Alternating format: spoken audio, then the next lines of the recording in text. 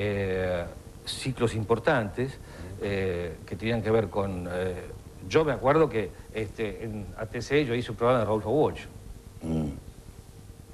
que es un autor recién ahora reconocido, Sí, muerto claro. por la represión. Yo también recuerdo Sí. los centenares de millones de pesos que debía TC cuando yo asumí la Sí, pero no, no, eso es un Porque gasto, no, perdón, eso es un gasto, gana. es un gasto que tiene que tener el Estado. ese argumento es no un, sirve, un gasto que tiene que tener el Estado, ATC absolutamente. sigue, sigue Pero siendo ATC financiado por el sí. gobierno con la diferencia de que claro, es un canal sí. este, Sí. comercial como cualquier otro con una programación paupérrima, debemos considerarlo. Bueno, ¿no? es tu opinión. eh, No, no, no, no es una opinión, está, a la vista, uno prende la pantalla de ATC yo no y se agarra la pondría mi- cabeza. Yo no pondría a mi cuñado en la TC. Pero, Pero eh, eso No, no es, no, no, Pero vamos a escuchar cuñado a es un, nosotros. es un Por supuesto programa no lo pondrías tu cuñado. que- Vamos a otras escucharnos. cosas en ATC, Por no ponés mi cuñado. Vamos a es- escucharnos un poco todos. Sí, sí, por supuesto. Juego, eh, entretenimientos hay en todos los canales. Eh, en todos los canales. Sí, y en este, no y en un este programa estamos en un programa con entretenimiento y con juegos. Y muy respetable. Y eh, ATC, ustedes se olvidan que es eh, el canal que tiene 10 millones de argentinos que no ven otra televisión. Y ustedes son los que quieren que esos 10 millones de argentinos vean nada más que a Rodolfo Walsh. Quieren que esos 10 millones de argentinos vean nada más que conferencias. Quieren que esos 10 millones de argentinos vean nada más que Yo digo ópera. que sí. Perdón, Entonces, no, no, no, ahora ATC, en esta administración lo que ha eh, cumplido es con su función de canal de televisión. Y da entretenimiento, da formación y da información. Las tres premisas básicas de la televisión. Lo que pasa es que ustedes se suman a los que quieren una televisión que trabaje nada más que para los canales privados. Y vos, Beto, fuiste el que le dijo al general Perón, mi general, nacionalice los canales y libérennos de la explotación, ¿o no? ¿Vos creés que Perón tomó esa decisión porque se lo dije Pero yo se lo o dijiste porque o no había se lo una decisión política Pero se lo dijiste o no se lo dijiste. Sí, como se lo dijo Bueno, Carrizo. entonces, si vos como se querías lo dijo toda la televisión No, no, estatal. perdón, no se lo dije yo. Primero yo estaba Mira, en en Europa la representación... televisión Yo estatal. vos le estaba en dijiste- representación de un gremio que representaba el Te 82%. estoy diciendo palabras por favor. textuales. Yo- Le dijiste perdón. mi Yo general. en ese momento estaba de acuerdo. la No, no, no, no, no, no Y ahora estás son en la explotación. no son palabras Ahora textuales. trabajás para los Está explotadores. que- No, no, estás equivocado. Le dije, Son los textuales. argumentos eran otros y no eran míos. Son textuales. Te No, no son textuales. Yo te lo puedo asegurar que no son textuales. Este, por otra parte, quiero decirte que esta, esta cosa que acabas de decir es propia de un maniqueo. Esto de decir, porque ustedes son, como si fuéramos enemigos nosotros de la gente, los que quieren hacer programas de Rodolfo Walsh y conferencias. Esto es el- el- el- la vieja alternativa de que o se hace una cosa entretenida o se hace cultura. Como si la cultura fuese ¿Por qué no la estrictamente aburrida. ¿Por qué no la yo te, yo te no escuché cuando hablaste, te, re- te pido por favor que me Es escuches que cuando estoy hablando. y Te por qué no pido que me analizás, escuches y además calificaste la, la programación de ATC. ¿Por qué no analizás en serio la programación de ATC y la comparás con los demás? Y No, no, hay que analizar la cuál- ATC, los otros canales son ¿Cuál, no tienen nada que ver. ¿Cuál de los otros Pero es un canales? canal Me extraña- estatal. Me extraña. ¿Cuál de los otros me canales extraña, vos que tenés tanto que ver en dando ATC, la cantidad de hace programas casi culturales dos que años ATC? que no hay más de un programa en ATC de autor y de actores.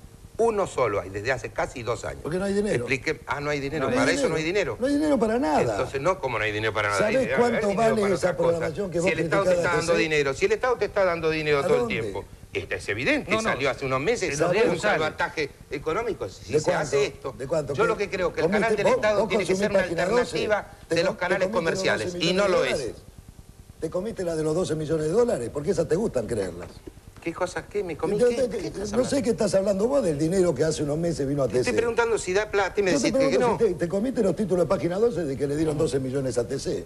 Porque todavía los están esperando en la TC. Ajá. Ajá, sí. Ah, ¿no era cierto eso? No, claro que ¿Por qué no no. lo desmiente? Pero se desmintió. ¿Y Pero- ¿quién, quién se hizo eco de esto? ¿Los otros canales dijeron, ah, no, pobre ATC? Pero no es un problema, acá no, no, no, no desvimos la- el tema es que la tema. televisión- El No, problema no es que ATC no tiene una cultura, No no tiene, no de tiene, No, no tiene Proyecto. no tiene proyecto cultural. proyecto, y este es el canal estatal, es la imagen Es el de Argentina canal- al exterior. Es el canal más este es el problema. cultural, es el canal que le dedica un micro por hora a la Secretaría de Cultura para difundir a todos los grandes artistas y pensadores argentinos y literatos argentinos. Mirá, no lo hizo nadie. Es el canal que tiene más programación cultural y es el canal que no puede obligar a 10 millones de argentinos que no tienen otra opción que ATC y otros 14 millones de argentinos que comparten la, la opción de ATC con la de los otros canales. Y además una presencia en la ¿Obligarlos a qué? ¿No podés Momentito. obligarlos a qué? A obligarlos a tener la programación que querían hacer ustedes. Pero la ¿qué misma ustedes? que ¿Quién es la misma- estás hablando? Bueno, vos. Perdón, No, no, te yo- aseguro yo que la programación que tuvo, que- la programación que Bueno, tuvo antes bueno, durante el gobierno de Alfonsín fue infinitamente mejor. Ah, porque a esos microprogramas culturales de la fantástica, Secretaría que vos decís, fantástica. sumar los programas, los pro- la- las horas de escolazo que hay en ATC y no se puede ni Pero comparar. sumá las horas de escolazo que hay en este canal, que te tiene a vos como una de sus figuras. Perdón, en No, todo no. caso, hay una al- aspiración Además, fundamental lo de los canales privados, colazo- que es la de que sean redituales y de ganar dinero.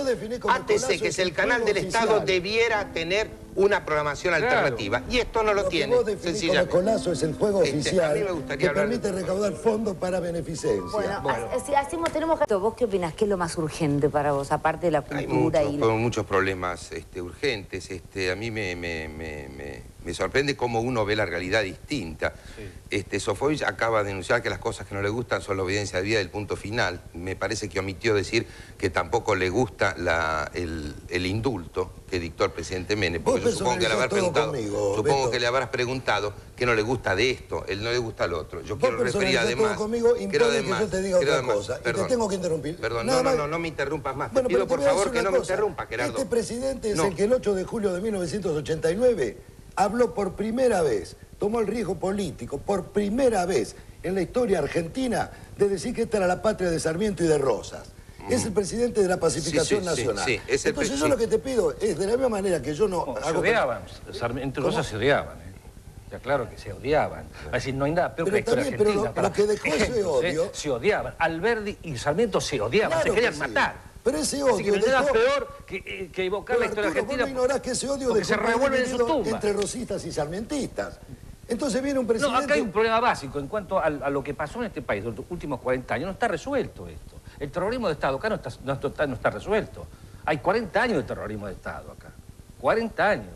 ¿Todavía, ¿Todavía hay terrorismo de Estado? ¿Vos podés decir que hay terrorismo de Estado? Yo no diría que hay Arturo, terror. Ay, no. no, hay difusión del miedo y del terror. Eso sí, el gobierno en este momento hace gala de la difusión del No, terror y del es miedo. eslogan. No, no, ¿cómo que no? Hasta acá ¿Cómo vos no? venías racional, ese es un eslogan. ¿Cómo, cómo que no? No, si vamos Acá, a tener el mismo presidente todo. dice que si no lo votan, esto es uso el la caos. palabra, ¿cómo es O esta? Caballo, Caballo, por ejemplo, agita las mesas. No, devolver el uso de la palabra. Pero ¿sabes lo que te pido? No, te pido me pida más nada. Deja- Lo único que te pido es que no me interrumpas. Dejá a un lado tus rencores personales. Yo no tengo te ningún rencor personal, perdón. No tenés y yo Acá tampoco hay una realidad. Vos sos el representante del oficialismo y estamos en campaña y yo me voy a referir al oficialismo. Si sos vos, decís sos lo vos. que dijo el si no fuera no lo que vos, fuera yo. otra persona Porque diría lo mismo. Pero no hay ningún rencor personal. No minimices la cosa. No, no seas hipócrita. Simplemente, no, te pido por favor que no me faltes el respeto. Si vos decís te que no hay pido por favor que no me faltes el respeto. dos, sos un hipócrita. Digo, No. omitió decir lo, de, lo, de- del indulto y además omiten decir que el tema del punto final y de la obediencia debida tienen un origen y ese origen fue el procesamiento de las juntas militares, que también fue responsabilidad y decisión política de un mismo gobierno. Ahora está diciendo el presidente, después de haber dicho del, marino que declaró que había participado de estas muertes desde los aviones, de tirar a los desaparecidos de los aviones, que era algo así como un, un- un fascineroso. Sorprendentemente cambia su opinión el presidente cuando sale el general Balsa a reconocer esto y ahora parece ser que quiere revisar la ley de obediencia debida y de punto final, cuando lo primero que tendrían que hacer es revisar el indulto, que es lo primero. En cuanto a tu pregunta, ¿qué es lo que hay que cambiar? Yo creo que hay muchas cosas que cambiar. La crisis terminal en la cual estaba el país No, ahora cuando asumió el presidente Menem, crisis- ahora no terminal. registraba la deuda externa que registra este gobierno, no registraba el nivel de desocupación que registraba este gobierno, no registra el, el- el- el borde de un abismo económico y financiero como el que registra en este momento este país y que no lo reconozca es porque no quiere ver la realidad. Entregaron un país idílico. Este, también el presidente dijo que este, este,